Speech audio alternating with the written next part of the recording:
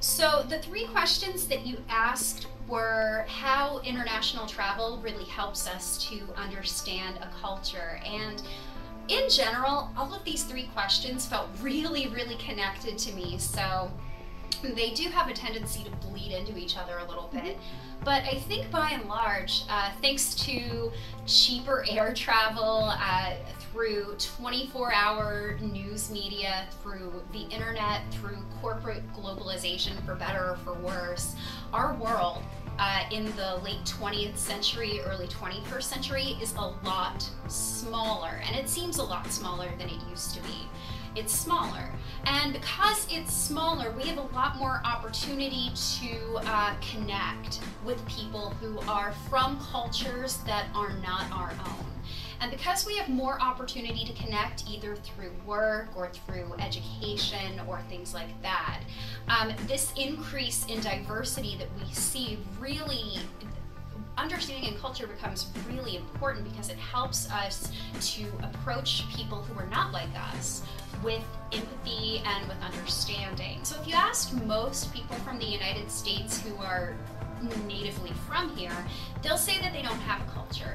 It's easy to really think that we don't have a culture, but we really, really do. And by going to somewhere else, that creates not only an appreciation for other cultures, but it helps us understand that we do have a culture as well. And it helps us get in touch with what our legacy is as a culture. All right, well, I think it's important to have intercultural experiences on a global relational like level because it opens up doors that wouldn't have been open before because every country does things differently. And so an understanding of how another country does things opens your mind to pick and choose what you like. Like now I pick and choose from all the cultures that I've experienced myself because of all of my global relationships. And so I think as a whole, like as a world, we'll be better off once we can pick and choose from the things we like and dislike from other countries. And like my mom likes to say, it's not better, it's not worse, it's just different.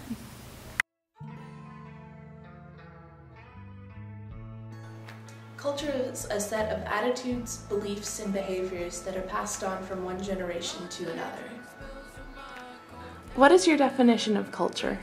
To me, culture is um, shared behaviors among a society. I've traveled a lot, so I think I kind of like choose what I want from whichever culture I like. So yeah, I don't have a set culture, I just have everything from everywhere.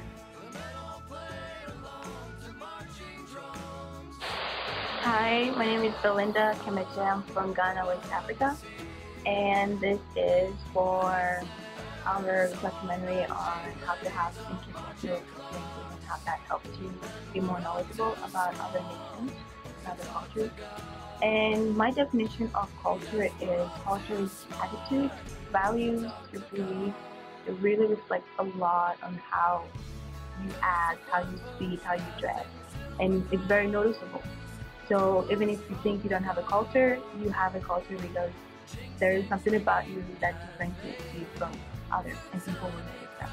I think it is very important to know your own culture before you can know someone else's culture because you learn, like when you know your own culture, you're able to pick up on things that are different or similar to your culture and, you know, from the other person's culture. A big concept is ethnocentricity, where you, your own knowledge is what's considered normal and everything outside of that is weird. But you have to understand that there is no normal. People in Thailand, they wear cat shirts too. I bought this in Thailand and the reason it's important to know your own culture before you leave is so that you can really identify these are the things I do so that you can recognize the differences between other people and the things that they do might be different but they're not weird or wrong. They're simply different.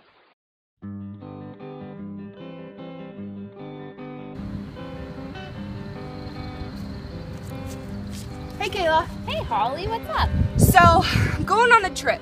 Where are you going? going to Thailand Right. for an intercultural experience. And I'm wondering what kind of attitudes one should have to have a successful intercultural experience. That is a good question to have, and I'm going to explain it to you. The proper attitude that you have to have while going to Thailand is open mindedness, like this book you see. An open mind is a curious and engaged mind. Boy, this is a curious looking apple. I'm not used to this, but I think I'll give it a go. To also have a proper attitude, you have to have perspective taking. Perspective taking is treating others the way they want to be treated. There's a difference between treating people the way you would like to be treated and then treating people the way they would like to be treated. So, kind of like taking into consideration the other people's culture before you think about your own. Yeah, that's exactly right, Shelby. I see. Another proper attitude that you must have is emotional management, which is being aware of how other people perceive you.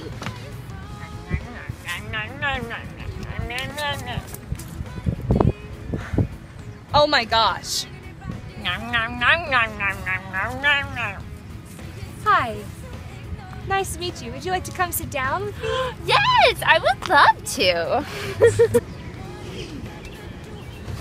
hey, Holly. Um, I found the tips that I typed up for you the other day. Oh, great, great, great. So, um, you remember number one, have an open mind. open-mindedness. So, like an example of that could be when I'm going to Thailand to be open-minded with the monks' religion and the types of food they serve to us, and not having preconceived notions about what it should be like. Right? Right. So, what's the second one? Second one, Holly, is perspective taking. Perspective taking. Okay, so like an example of that could be taking into other people's perspectives before your own, like treating their culture the way they would like to be treated. So, what's the third one, Kayla? Emotional management. So, an example of emotional management could be controlling your thoughts and keeping them inside your head versus projecting them outward when people are acting very weird or strange compared to what you're used to.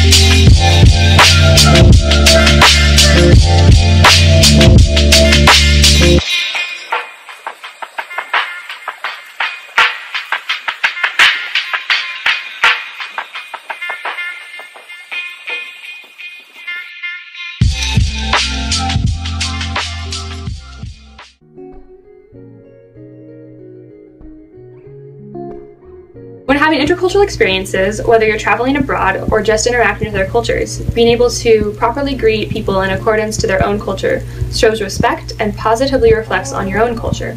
Every culture greets each other differently. Chances are, your culture and their culture's greetings are not the same. For example, while we were in Thailand, the Thai wai is the common hello and goodbye. There are three different levels of the Thai wai according to a person's status in society. For someone of equal status, for example, a friend, this is the proper level of wai. Sawadika. For someone of greater status than you, for example, a professor, this is the proper level of wai. Sawadika. And for a Buddha image, a member of the royal family, or a monk, this is the proper level of wai. Sawadika. Let's see some examples of a proper wai and an improper wai. First, we will show how to do an improper wai for someone of equal status to you. Sawadika. Now we will show an example of a proper wai. Sawadika. Remember